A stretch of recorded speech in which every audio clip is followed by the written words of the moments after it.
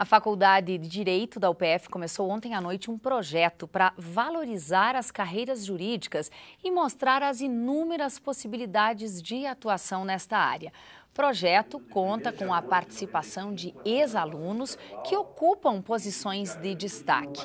O primeiro convidado foi o delegado da Polícia Civil, Rodrigo Bozeto, diretor do Departamento Estadual de Investigações Criminais, o DEIC.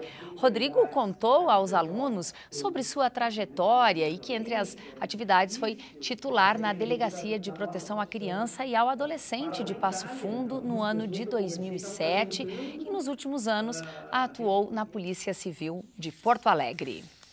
Bom, o outono começou oficialmente em 21 de março, vai até 21 de junho, e sobre as características climáticas desta estação para Passo Fundo e região, a Fania é quem nos conta.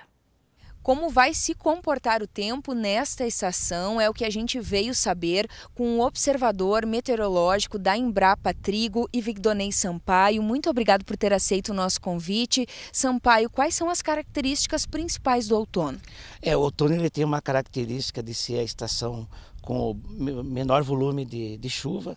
Ele tem uma, uma característica também que a gente passa a ter daqui para frente, que é a formação de nevoeiro ou névoa úmida amanhecer.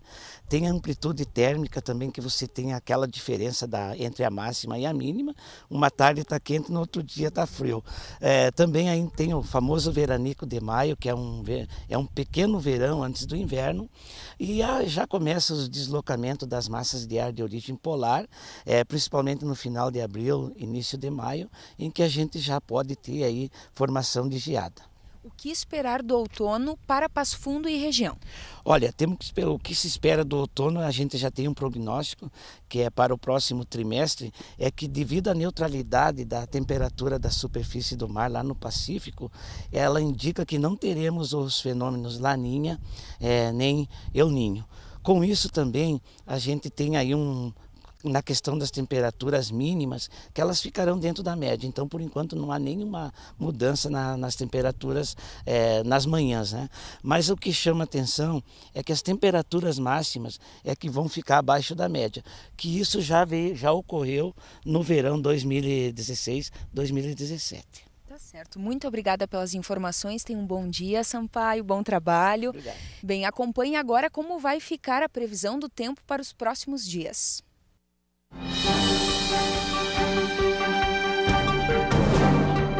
Previsão de uma quinta-feira com muitas nuvens em Passo Fundo e sem chuva. Mínima de 19 e máxima de 27 graus. A sexta-feira será de muitas nuvens e chuva durante todo o dia. A mínima será de 18 e a máxima 23 graus.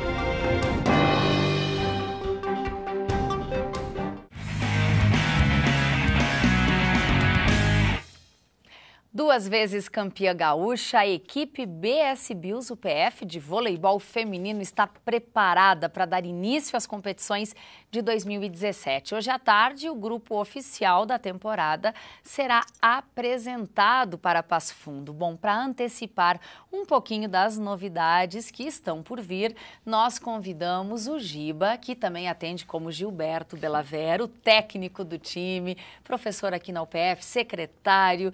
Seja muito muito bem-vindo mais uma vez. Eu que agradeço, Thaís, eu agradeço. Bom, antes de nós falarmos nos desafios, das novidades dessa temporada, a gente quer uma breve retrospectiva de uma história de sucesso em tão pouco tempo, que é a história desse time. É, hoje é um, é um dia diferente, né? Todos os anos nós fizemos a apresentação, esse, esse protocolo de apresentação para a comunidade, para a imprensa, mas hoje ele tem uma conotação diferente, uma, uma conotação muito mais emocional, porque junto com os cinco anos da equipe BS Bills UPF, parece que foi ontem, né? Nós estamos comemorando 10 anos do projeto Sacada Inteligente. Então, acho que nada mais justo da apresentação ser hoje no Colégio Notre Dame também por isso, né? Tudo iniciou dentro, do, dentro da escola e, e em virtude disso, em virtude dessa aposta de um, de um colégio no, no esporte de competição, visando né, futuramente ter uma equipe competitiva e uma, uma equipe adulta, nós construímos essa, essa história de 10 anos, estamos entrando no 11 ano.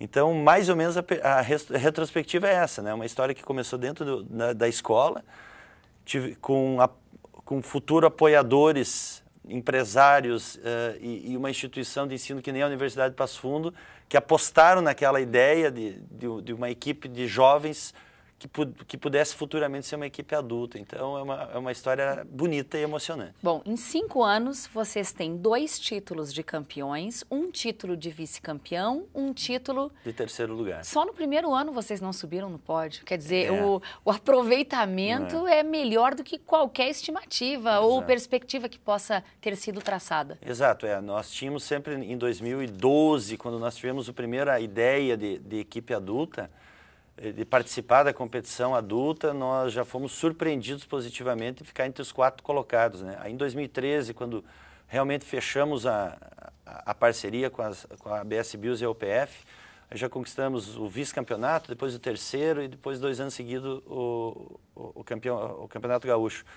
Então, não tem muito segredo nessa história toda, né? É, um, é, muito trabalho, é um chavão que todo mundo fala, mas trabalhamos muito e, ob, e obviamente, muito alicerçados pelos parceiros. Né? Então, isso, isso cria uma, uma, uma segurança para o trabalho acontecer. Né? Quais as novidades no time que vai ser apresentado logo mais? Acho que a grande novidade desse ano é que nós, no pro primeiro semestre, nós não buscamos ninguém mais de fora, e sim dentro dos nossos domínios, dentro da nossa estrutura. Então, nós temos três jogadoras que fizeram um teste aqui, que são uh, universitárias, então isso já é uma, é uma ampliação do projeto importante, né? Ah, meninas que vieram até estudar na universidade com a perspectiva de participar do uhum. time. Então, uma da nutrição, ah, duas da fisioterapia, então foi interessante isso. E a novidade, sim, na questão de grupo é essa, né? Nós temos algum, algumas mudanças de funções que nós vamos fazer em virtude de, da saída da Emilene, que era a nossa capitã levantadora. Isso é de posicionamento, posicionamento de, de quadra, enfim, hum. mas uh, uma equipe forte, uma equipe que vai representar muito bem a instituição, e tenho certeza disso. Bom, Giba, os apoiadores, eles são fundamentais nesse processo. O futebol tem um incentivo natural, não é? É preciso também ter um olhar para outros esportes. Claro, é. Futebol não se discute, né? Futebol acho que já não é mais o primeiro esporte. Futebol é religião, não se discute, né? Eu acho que a partir do voleibol, que é o segundo esporte de, de maior aceitação no, no Brasil, uh, eu acho que esse tripé deu certo. E é um tripé que deu certo aqui, não deu aqui em Passo Fundo, dá, vai dar certo em qualquer lugar do mundo, que é o tripé de, uh, do apoio empresarial e de instituições de ensino. Então, nós iniciamos todo o projeto em função de escola, universidade e apoio empresarial. Né? Obviamente o poder público ajudando, né? mas o tripé de ter a, a, possibilidade de uma atleta deslumbrar que ela, através do esporte, ela pode estudar ou através do estudo ela pode continuar praticando esporte, é um tripé é de sucesso. Acho que tem que ser assim. Giba, muitíssimo obrigada pelas informações. Boa sorte, sucesso na programação de logo mais. E a gente vai seguir, é claro, na cola de vocês, acompanhando tudo. Eu que agradeço Muito obrigada. todo mundo convidado. Obrigada.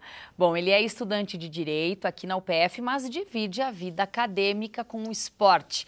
O multiatleta Tiago Pérez, que já conquistou vários títulos, agora também vai contar com o apoio da UPF.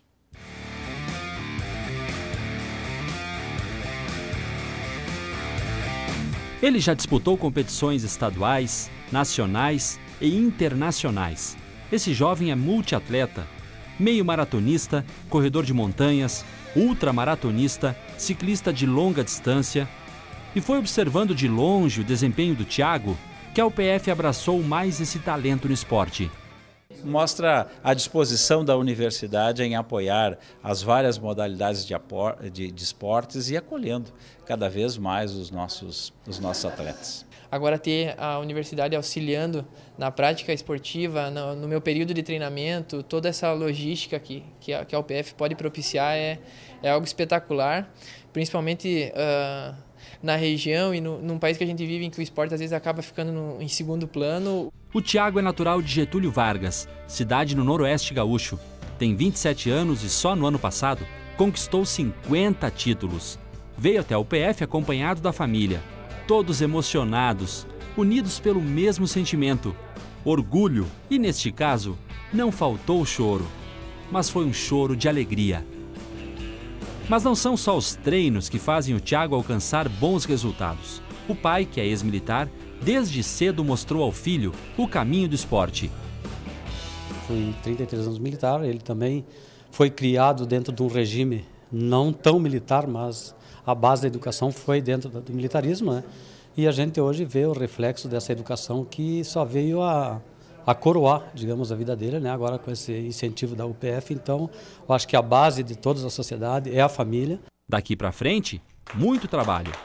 Esse ano eu estou, inclusive, aproveitando a oportunidade para lançar o meu projeto, que é o projeto Ironman, em que eu pretendo me tornar um triatleta oficialmente através do, do Ironman 70.13 e o Ironman uh, completo, né? a prova internacional e mundialmente conhecida. Também quero me consolidar no circuito de, de corridas de aventura e trilhas e montanhas e provas de longa duração, como ultramaratonas, como eu vim fazendo no último ano. Sempre que pode acompanhar, sempre torcendo, sempre gritando, sempre apoiando. Eu já não grito tanto, eu assobio bastante, né? Daí depois só cobro os treinamentos dele, mas a gente está sempre junto né? na hora da chegada, né? Ou na saída também, estamos sempre, sempre ao lado ali, incentivando. É, Thiago, agora o PF também estará contigo, na largada e na chegada das provas. Essas foram as informações de hoje. Se você quer rever ou compartilhar alguma reportagem nossa, é só entrar na página da UPF TV no Facebook. Obrigada pela sua companhia e até amanhã.